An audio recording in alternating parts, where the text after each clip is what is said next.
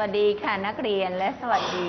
คุณครูและนักเรียนที่อยู่ปลายทางนะคะ วันนี้พบกับครูในวิชาทัศนศิลป์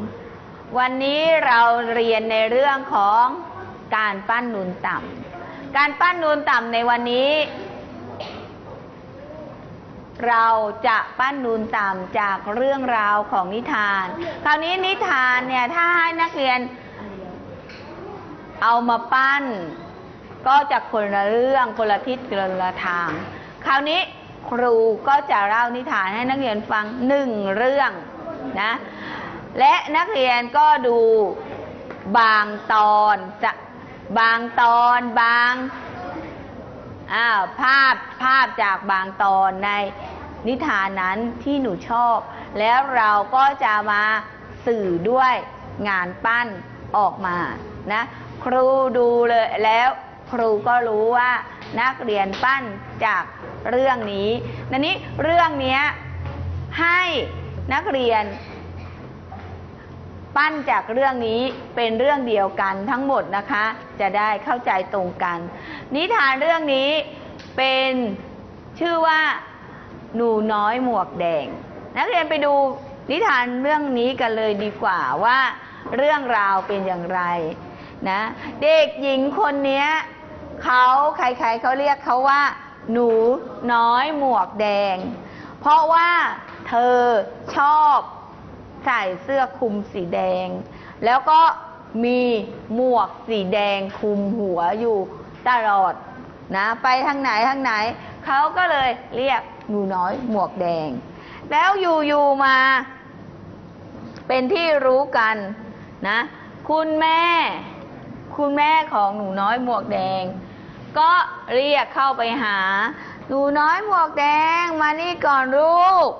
นะแม่จะให้หนูเอาตะกร้าเนี้ยไปบ้านคุณยาย บ้านคุณยายเนี่ยอยู่ไกลออกไปอีกนะ เอาเปลี่ยนภาพสิอะเปลี่ยนภาพสิอะนะแล้วเวลาหนู ไปนะ ระหว่างทางนะกว่ากว่าจะถึงบ้านคุณยายอะหนูดูให้ดีนะ นี่นะนี่คือตะกร้านะคะ ที่หนูจะเอาไป ดูซิในตะกร้า มีอะไรที่ยายฝากคุณยายมั่ง มี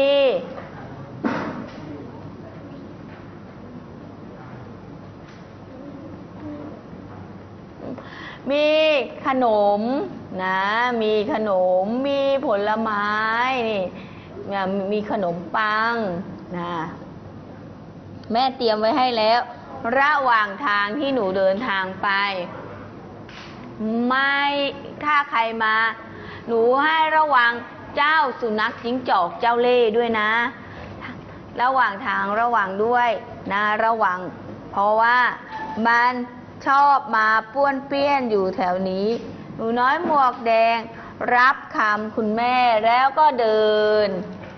เดินเดินเดินไปในป่านะ เดินไปในป่าเดินไประหว่างทางมันก็มีป่าใช่ไหมคะก่อนจะถึงบ้านคุณยาย แล้วก็มีความรู้สึกว่าดีใจมากเลย จะได้พบคุณยายด้วยถือโอกาสไปเยี่ยมคุณยายแล้วก็ไปกราบคุณยาย คราวนี้ระหว่างทาง มีสุนัขจิ้งจอก สุนัขจิ้งจอก มาหาสวัสดี หนูน้อยหมวกแดง และก็จะไปไหนเหรอ หนูน้อยหมวกแดงก็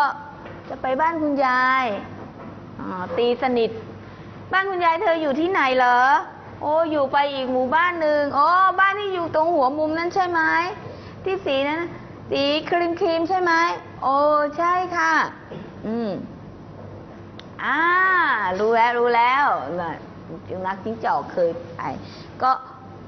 รู้ก็จึง หลอกล่อจะให้หนูน้อยหมวกแดง ไปเก็บดอกไม้ให้คุณยาย เพื่อถ่วงเวลา เพราะตัวเองคิดแล้ว อยาก หอมขนมในตะกร้าด้วย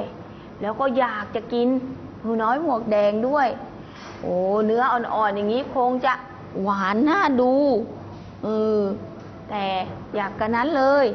แอบไปกินคุณยายที่บ้านก่อนจะดีกว่า อ่า งั้นเธอไปเก็บดอกไม้ก่อนสิ ฉันเห็นดอกไม้อยู่ ตรงทุ่งตรงป่าตรงนู้นน่ะ บานเต็มเลยสวยมากเลย เธอจะได้เอาไปฝากคุณยายของเธอด้วย หนูน้อยหมวกแดงก็เชื่อ ลืมคำที่คุณแม่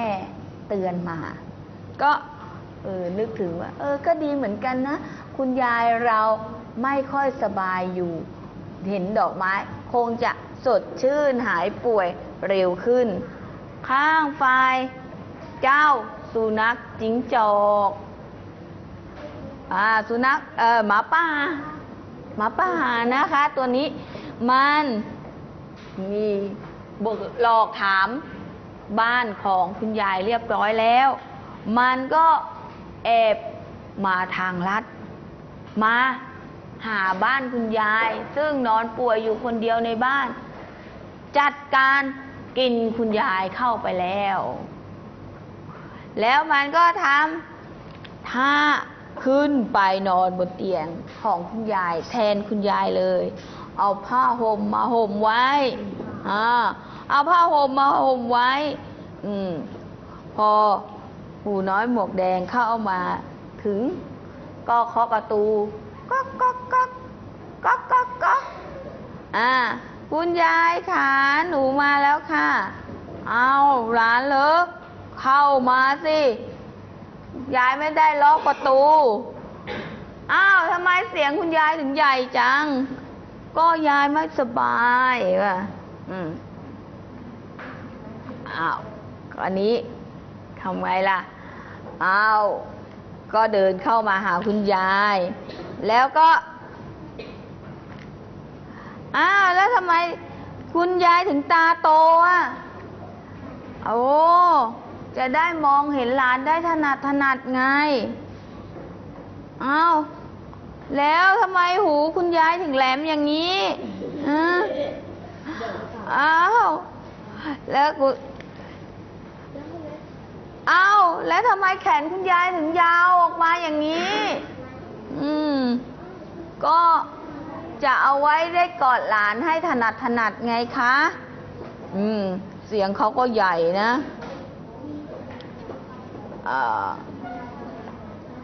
ทำไม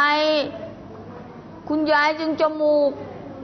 ใหญ่ขนาดนี้ล่ะคะ ก็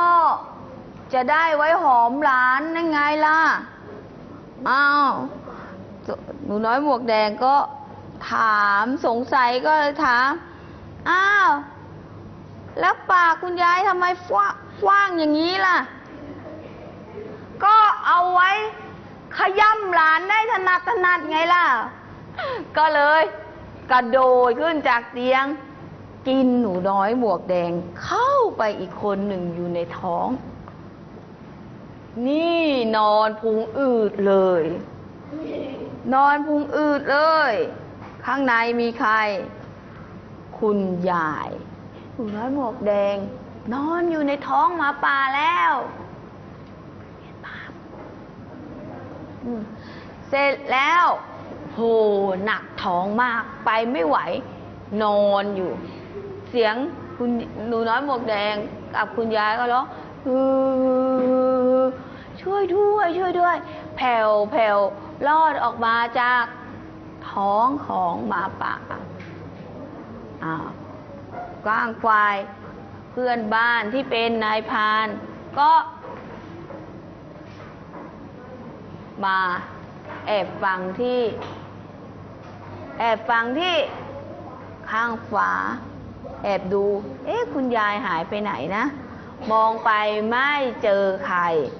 เจอแต่หมาป่านอนพุงอืดอยู่ แล้วก็ได้ยินเสียงแววแววช่วยด้วย ช่วยด้วย ช่วยด้วย ออกมาจากท้องของมันโอ้นี่แสดงว่า เจ้าหมาป่าตัวนี้ กินคุณยายเข้าไปแล้วแน่ ๆเลย อืมอะช่วยยังไงดีนะ ก็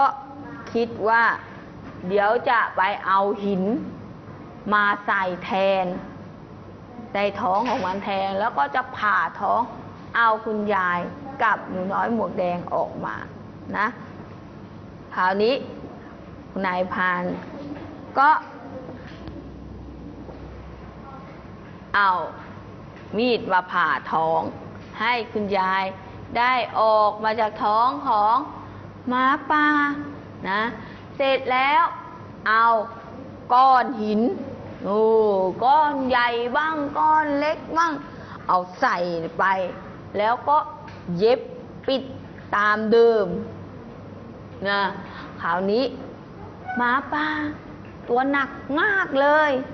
ลูกไม่ขึ้นนะ ลูกไม่ขึ้น ก็หนีไปเลยนะ ตัวหนักแล้วก็ตาย เพราะว่า หินมันย่อยไม่ได้ อ่า คราวนี้หนูน้อยหมวกแดงกับคุณยายก็ออกมาได้อย่างปลอดภัย แล้วหลังจากนั้น คุณยายกับคุณหลาน ก็ไม่ได้เห็นหมาป่าจอมเกเรอีกเลยนะมันหายไปเลย แล้วหนูน้อยหมวกแดงก็สัญญากับคุณยายว่า ต่อไปหนูจะไม่ไว้ใจคนแปลกหน้าอีกแล้วค่ะ คุณยาย เรื่องหนูน้อยหมวกแดงก็จบลงเท่านี้ค่ะ